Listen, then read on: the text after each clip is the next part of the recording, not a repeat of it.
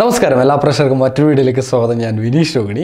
ഓൺലൈനിലൂടെ സൗജന്യമായി radio station തുടങ്ങി എങ്ങനെ വരുമാനം ഉണ്ടാക്കാം എന്നതിനെക്കുറിച്ചാണ് ഇന്നത്തെ വീഡിയോയിൽ നിങ്ങളുമായിട്ട് ഷെയർ ചെയ്യാൻ പോകുന്നത്. സോ നിങ്ങൾ ആദ്യമായിട്ടാണ് വീഡിയോ കാണുന്നെങ്കിൽ ചാനൽ സബ്സ്ക്രൈബ് ചെയ്യുക.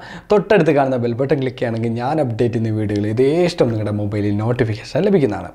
കുറച്ച് കാലങ്ങൾക്ക് മുമ്പ് ഓൺലൈൻ റേഡിയോ സ്റ്റേഷൻ തുടങ്ങുന്നത് എന്ന് വെച്ച് കഴിഞ്ഞാൽ കുറേ എക്സ്പെൻസീവ് ആയിട്ടുള്ള ഒരു കാര്യമാണ്. അതിന് സ്ട്രീമിംഗ് ചെയ്യാനുള്ള സെർവർ വേണം. അത് കഴിഞ്ഞിട്ട് പിന്നെ വെബ്സൈറ്റ് ഉണ്ടാക്കണം.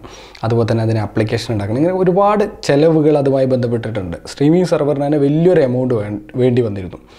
പക്ഷേ ഇന്ന് ഇതൊക്കെ നമുക്ക് ഫ്രീ ആയിട്ട് നമുക്ക് ചെയ്യാനുള്ള സൗകര്യം വിവിധ ആപ്ലിക്കേഷൻസും വെബ്സൈറ്റും ഒക്കെ ലഭ്യമാക്കിയിട്ടുണ്ട്.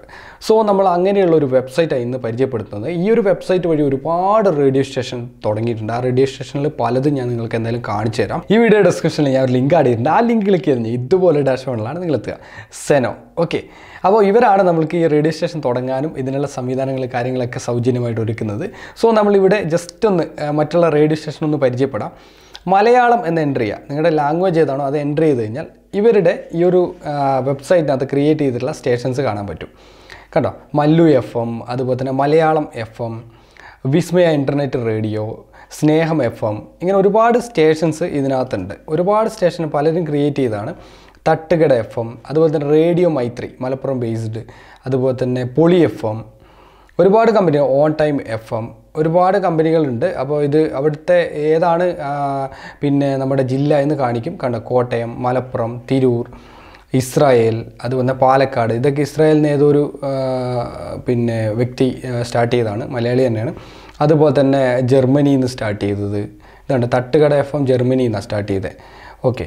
അപ്പോൾ ഒരുപാട് സ്റ്റേഷൻസ് ഉണ്ട്. പുനലൂർ കൊല്ലം വയനാട് ട്രിവാൻഡ്രം ഒരുപാട് സ്ഥലങ്ങളിൽ നിന്ന് കണ്ടോ പ്രണയം റേഡിയോ.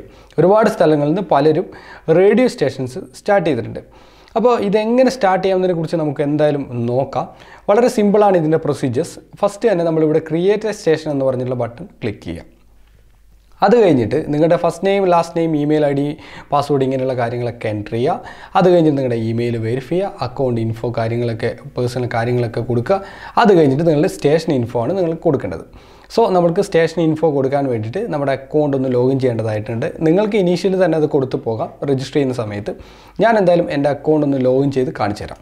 ഓക്കെ അപ്പോൾ എന്റെ അക്കൗണ്ട് ഫസ്റ്റ് നമ്മൾ ഈ ഒരു ലോഗിൻ എന്ന് പറഞ്ഞ ബട്ടൺ ക്ലിക്ക് ചെയ്തു. ക്ലിക്ക് ചെയ്തിട്ട് നമ്മൾ എന്ത് ചെയ്തു? ലോഗിൻ എന്ന് പറഞ്ഞ ബട്ടൺ നമ്മൾ ക്ലിക്ക് ചെയ്യണം. ക്ലിക്ക് ചെയ്തിട്ട് നമ്മൾ നമ്മുടെ ഇമെയിൽ ഐ ഡി എന്റർ ചെയ്യണം. ഓക്കെ ഞാൻ എന്റെ ഇമെയിൽ ഐ ഡി എന്റർ ചെയ്തു.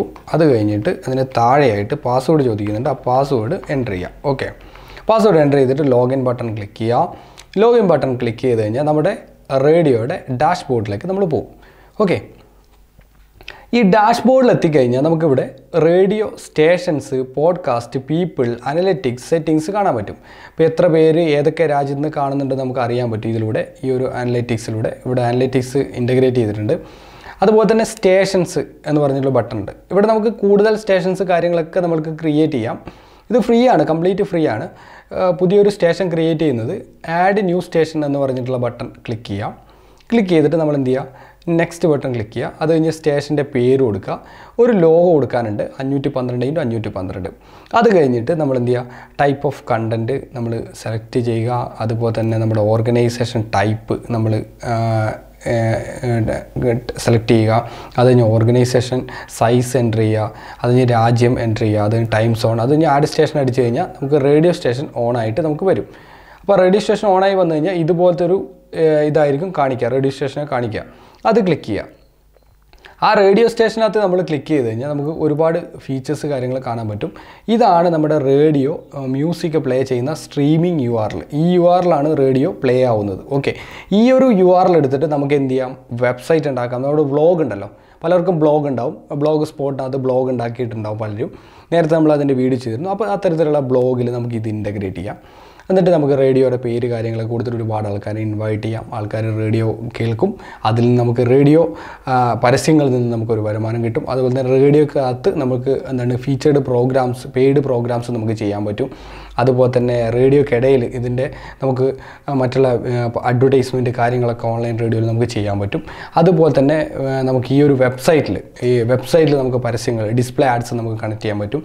ഇതിന്റെ തന്നെ ഒരു ആൻഡ്രോയിഡ് ആപ്ലിക്കേഷൻ ഡെവലപ്പ് ചെയ്യുകയാണെങ്കിൽ ആപ്ലിക്കേഷനകത്ത് നമുക്ക് എന്ത് ചെയ്യാൻ പറ്റും? ഗൂഗിളിന്റെ ആഡ് മോബ് നമുക്ക് ഇന്റഗ്രേറ്റ് ചെയ്യാൻ പറ്റും. അപ്പോൾ ഇത്രയും കാര്യങ്ങൾ ഫീച്ചേഴ്സ് കാര്യങ്ങളൊക്കെ ഉണ്ട്. അപ്പോൾ ഇങ്ങനെ ഒരു മൂന്നാൽ തരത്തിൽ നമുക്ക് വരുമാനം ഉണ്ടാക്കാൻ സാധിക്കുന്നതാണ്. ഇനി നമുക്ക് ഇതിനകത്ത് എന്ത് ചെയ്യാം? പാട്ടുകളും മറ്റുള്ള ഓഡിയോ ഫയലുകളൊക്കെ എങ്ങനെ ഇന്റഗ്രേറ്റ് ചെയ്യാമെന്നതിനെ കുറിച്ച് നോക്കാം. ഓട്ടോ ഡി ജെ എന്ന് പറഞ്ഞിട്ടുള്ള ഈ ഒരു ബട്ടൺ ക്ലിക്ക് ചെയ്യുക. ക്ലിക്ക് ചെയ്തിട്ട് ജസ്റ്റ് എന്ത് ചെയ്യുക? നിങ്ങൾ അപ്ലോഡ് ചെയ്യുക. ഫയൽസ് നിങ്ങളുടെ മ്യൂസിക് ഫയൽ കാര്യങ്ങളൊക്കെ അപ്ലോഡ് ചെയ്യുക. അപ്പോൾ ഇതാണ് ഞാൻ അപ്ലോഡ് ചെയ്ത കുറേ ഫയൽ ഇതിൽ ഇപ്പോൾ കറന്റ്ലി ഇത് പാടിക്കൊണ്ടിരിക്കുന്ന മ്യൂസിക് ഇതാണ് ഈ ഒരു പാട്ടാണ് ഇപ്പോൾ ഇപ്പോൾ പാടിക്കൊണ്ടിരിക്കുന്നത്. മനസ്സിലായോ? ഈ ഒരു മ്യൂസിക്കാണ് ഇപ്പോൾ പാടിക്കൊണ്ടിരിക്കുന്നത്. ഇത് വൺ ബൈ വൺ ആയിട്ട് ഇങ്ങനെ പാടിക്കൊണ്ടിരിക്കും.